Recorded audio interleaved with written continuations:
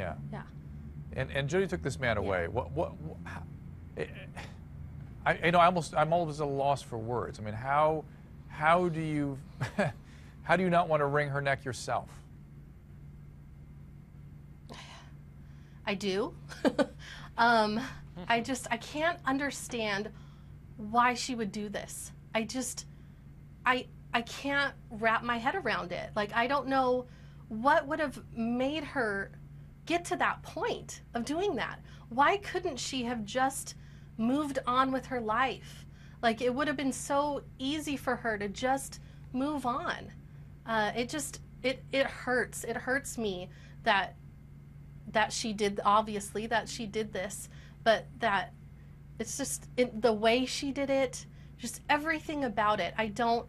It's it's so confusing to me and hard for me to understand, and that's part of the hurt is the just trying to figure out why when there really isn't an explanation, and I'll never never get an answer to why. Jenny Hutt, go ahead.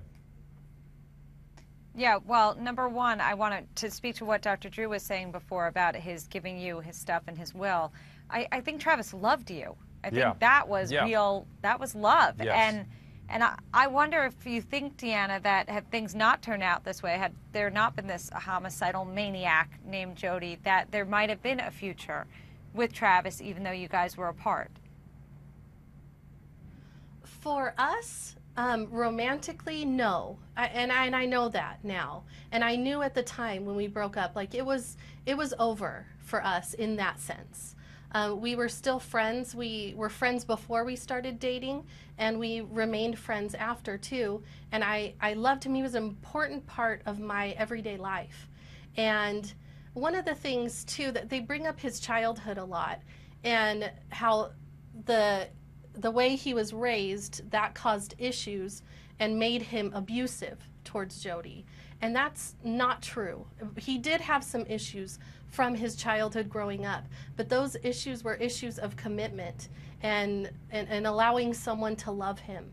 And so I, I think that that really was the issue that he had and he- not being abusive he didn't he didn't get that from his upbringing what he got was the the issues with commitment and being able to to feel maybe like he deserved love from someone And that fits. And that really fits with his history. Uh, Christy, I wonder if we should ask Deanna the question you asked last night about what she thinks he would want. Yeah, I, I mean, well, there were two things I wanted to ask. One was, how did you prepare yourself to be in the same room with Jodi?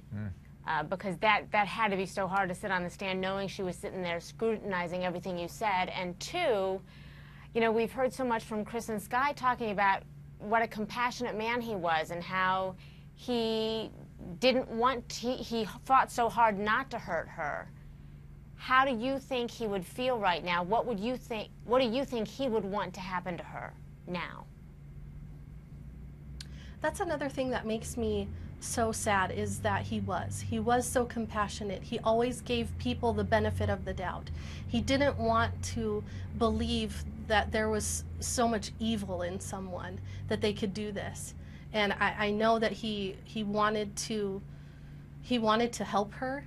I know that he would have wanted to you know just just not be not be that person who she's trying to say that he is. And um, as far as what he would want to happen to her now, um, I- I'm not sure. All that I know is that if this had happened to one of his friends, if Jodi had killed a friend of his, he would have wanted her to have the death penalty. Okay, that, speak, that speaks volumes. And I, and I really do feel like you know this man, so we will assume that would be Travis's point of view. Mark, go ahead. What do you got for Deanna? You know, Deanna, the more I get to know you, the more I see how opposite you are from Jodi. Yeah. Um, my question is, Yeah. what was it about Travis that caused him not to want to embrace the warning signs when Chris and Sky say, look, you got to stay away from this girl. She is not what you think. He resisted it. What is it about his character that caused him to want to stay with her? What do you think? It's like I was saying before, like he like he wanted to give people the benefit of the doubt. He wanted to see the good in people. And so he would he would ignore those bad things and just look at the good things. Plus, she was giving him tons of attention, and I think that he liked that, and that he liked the attention that he was getting from her. So I think that's part of the reason why he stayed with her. And Deanna, I think you're zeroing in on his inability to commit and receive love is really a key thing here. When people have been traumatized like he was, they confuse intensity for love, they confuse sex for love, they, they sort of gap through their difficulty accepting love with physicalities and things. And that's exactly what she took advantage of. Well, Deanna, I, I just want to thank Yeah. you from all. Go ahead. You want to? I'll give you the last word here, and I want to thank you for joining us. But go right ahead. What would you like to say, finishing up here? just on that note, it just makes me, again, it just breaks my heart because I think that eventually he would have got to that point. I think that he would have been able to to find love and get married and have a family, but she took that away from him. She took everything away from Deanna, and I think with friends like you in his life, I think there's no doubt he would have gotten there. Hmm.